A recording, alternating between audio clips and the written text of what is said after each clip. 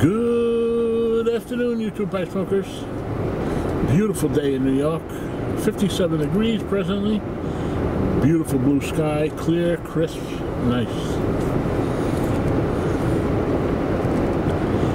Just leaving work. Um,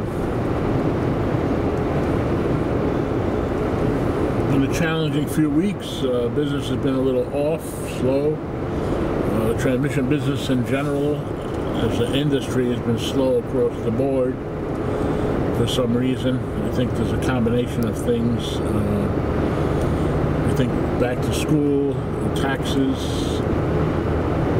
Around here is property tax time. Um, I think the GM strike, I think a lot of negative news. I think people are in fear and they pull back a little bit.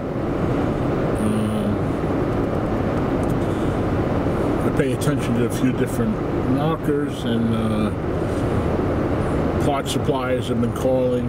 Typically when they do that, it's because it's uh, business has been a little off. The tool guys to come around, we have three tool trucks, Mac Go, Snap-on, and Mac.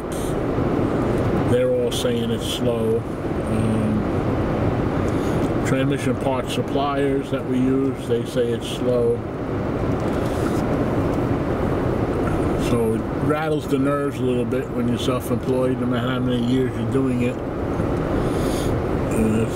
you never seem to get used to it.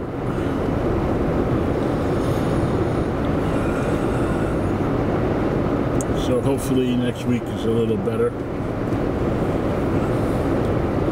But um, anyway, the subject came up this week on uh, Codger with Simon uh, London Calling. And basically what is a codger and pipe smoking and that whole subject. And as I usually do when I hear a, video like that, it gets my wheels turning and thinking. And you know, I don't think it's fair. Maybe fair is not a good word to use you can't compare the pipe smoker of years ago to a pipe smoker today in a lot of respects. Because I think the parallel is not the same. I think a lot of pipe smokers years ago, so-called codgers, if you want to use that word, it was a cheaper form of smoking than cigarettes, possibly. Because many pipe smokers smoked, at least the ones I knew. My grandfather that smoked, he smoked cigars and a pipe. I think he was a cigarette smoker prior to that. Um, other pipe smokers I know, um, a friend of mine I grew up with, his father smoked a pipe, but he also smoked cig cigarettes. And they didn't treat the pipe like we treat it today. The pipe to them was just a vessel to smoke tobacco. They really didn't care for the pipe itself. They banged it around. Um, they typically bought the cheapest pipes available at the time and very seldom did they even clean them. If they did, it was in a crude way with a pocket knife and just anything to get it back smoking again. Um, usually the stem was all chewed to bits, hardly anything left. You still see evidence of that if you buy an estate pipe. I mean, some of these pipes, you get them, they're absolutely disgusting. Uh, it takes a lot of work to get them to smoke again. They're all caked up. It looks like they were never even reamed. So I think that pipe smoker is different than the, the modern, I'll call it the modern day pipe smoker. I mean, most of us in the YTPC smoke as a, a hobby and we enjoy the pipe as much as we enjoy, and maybe sometimes more than the actual smoking of it. As weird as that sounds, I think we tend to like keeping our pipes nice and you like collecting pipes and you like cleaning them and caring for them. I think it's more of a hobby now than a necessity.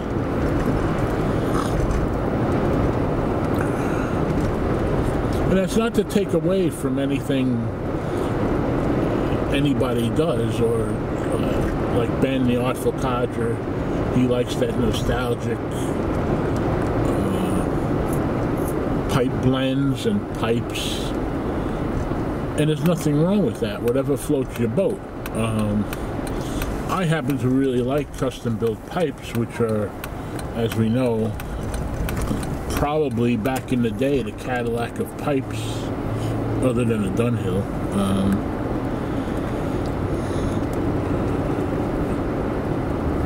but for me, I, I like filtered pipes to mitigate the moisture problem, which recently I found a way to convert them that's working out well. And then I really, really enjoyed a vintage pipe in that manner. But thinking about the tobaccos, I think there's a big difference. We have hundreds and hundreds of blends out there. And I said this in one of my uh, videos. Let's let's say for argument's sake there's a hundred blends. There's more than that, but let's say for argument's sake there's a hundred. We'll take that number, it's easy to figure.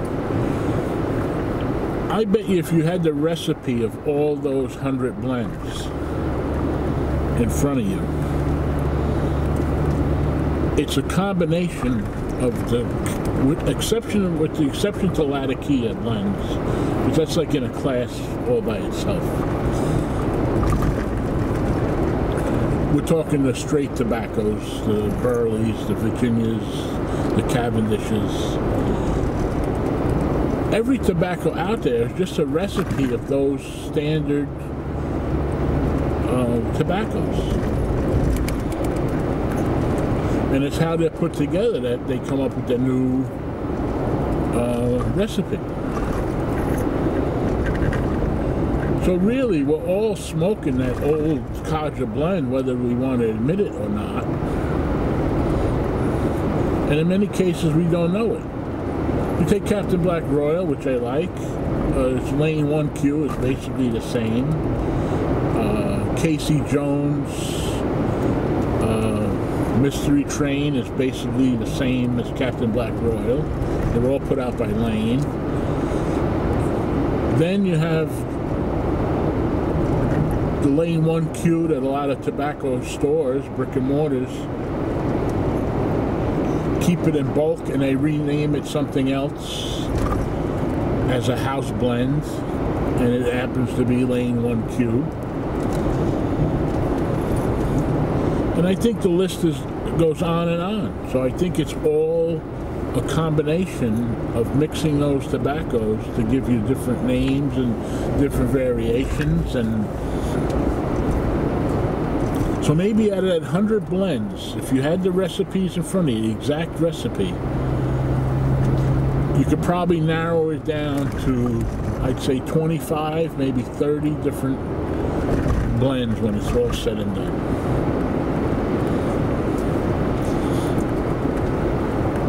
The twist comes when you start adding the Latakias and the Periques, and then you start adding the toppings like bourbon or rum, uh, whiskey,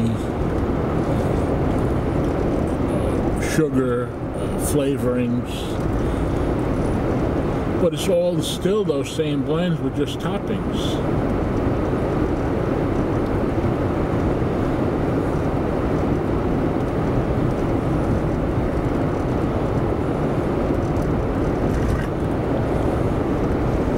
The message anyway should be just enjoy whatever you like, period. There's no right or wrong. Uh, know, filtered versus non-filtered, or expensive pipe versus a cheap pipe. I mean, this has been debated for many, many, many years. There's some cheap basket pipes that smoke better than some high-end pipes. So it's just a matter of getting the the right combination of wood uh,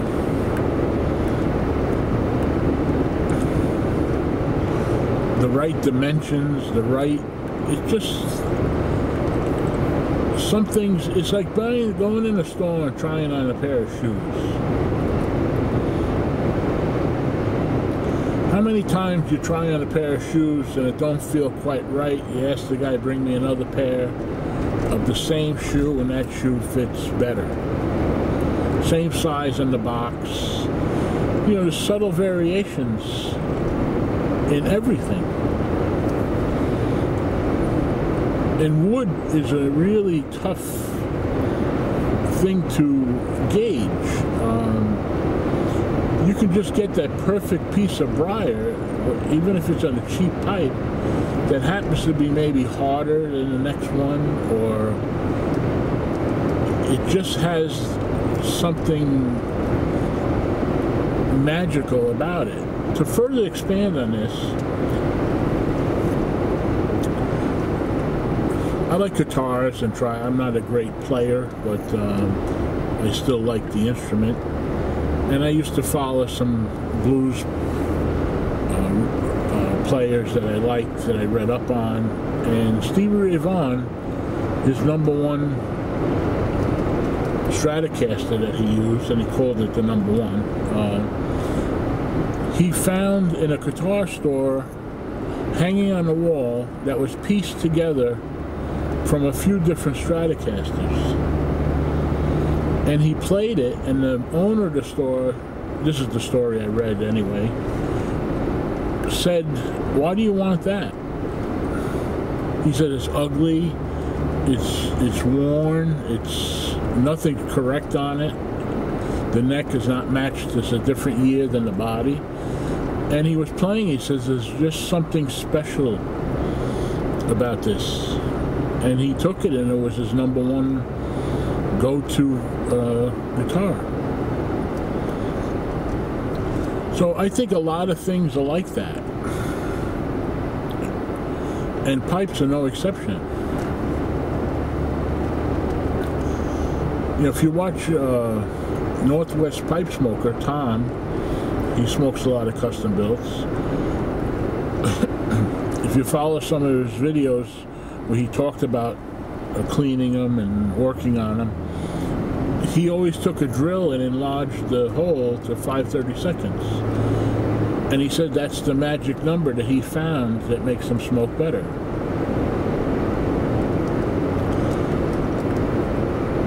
So I really think a lot of us get caught up in maybe nostalgia, maybe price, uh, most certainly looks. But you just sometimes hit on a pipe that could be the cheapest one in your collection that just has something about it that smokes better than even an expensive pipe.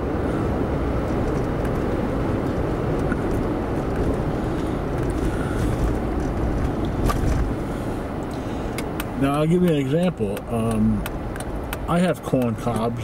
I really,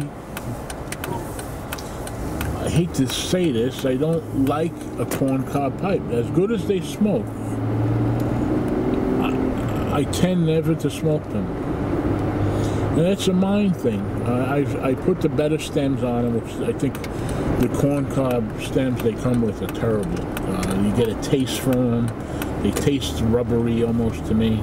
Uh, so I usually put a forever stem on them.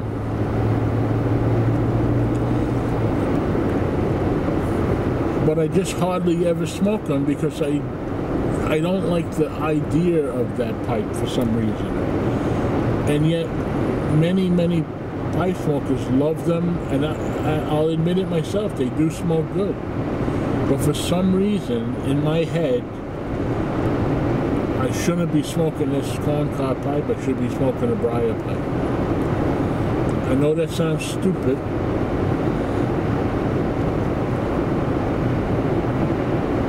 and it probably it is stupid, and I admit it, but it's just.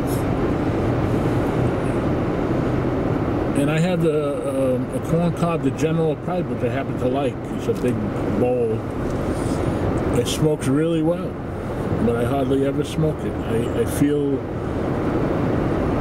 self-conscious when I smoke a corn cob pipe for some reason.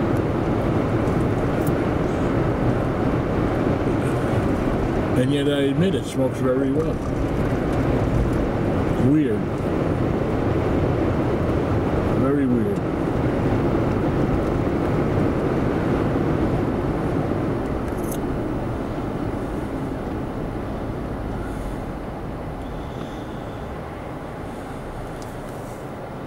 But the message is just enjoy whatever you smoke, whatever you do.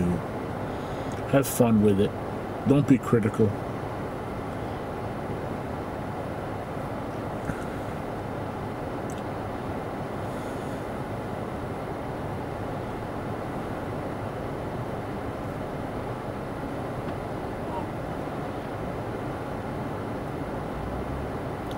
And I think that's the, the best advice.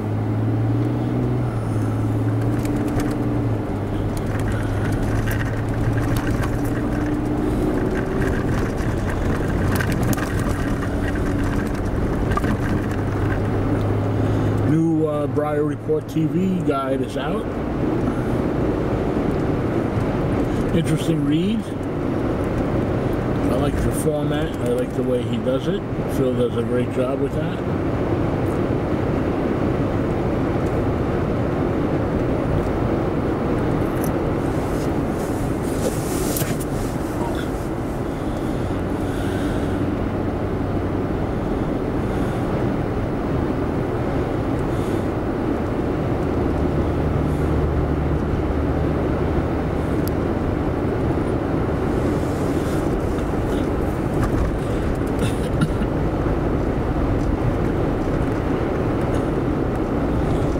That's the second edition now of the Briar Report TV guide.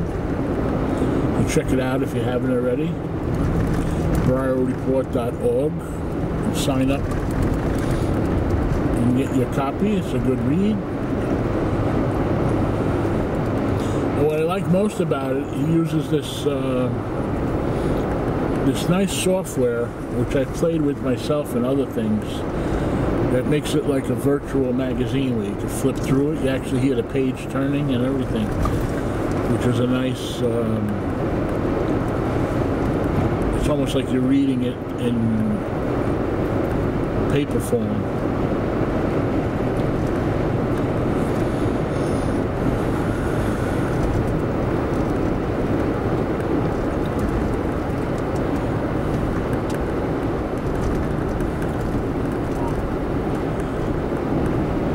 Right now I'm heading, I don't know if you, any of you have tried this. I have, and it works. Um, the CBD oil, I buy the cream. I buy the Charlotte's Web. It was very expensive for a tube, but my knees hurt at night, uh, especially after if I'm standing a long time. And I put the CBD cream on my knees, and it um, it really helps. The other day I woke up, I must have slept wrong and my neck hurt. I put a little bit on the neck the other night, and the next morning my neck didn't hurt. You don't need a prescription, it's the over the counter.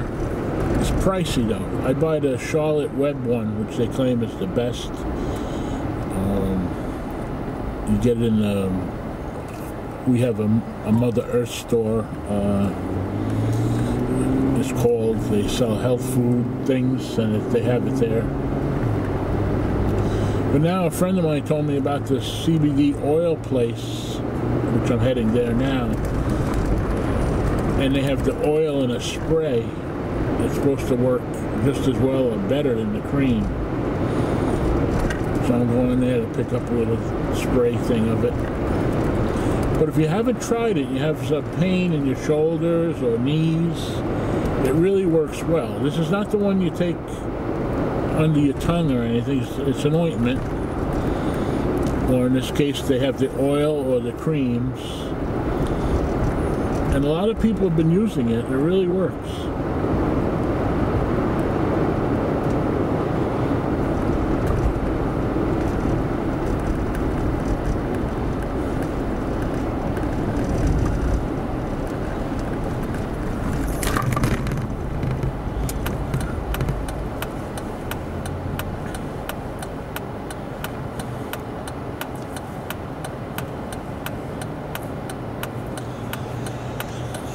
So anyway, guys, I think that's uh, wraps up this drive video. I hope you get some good out of it.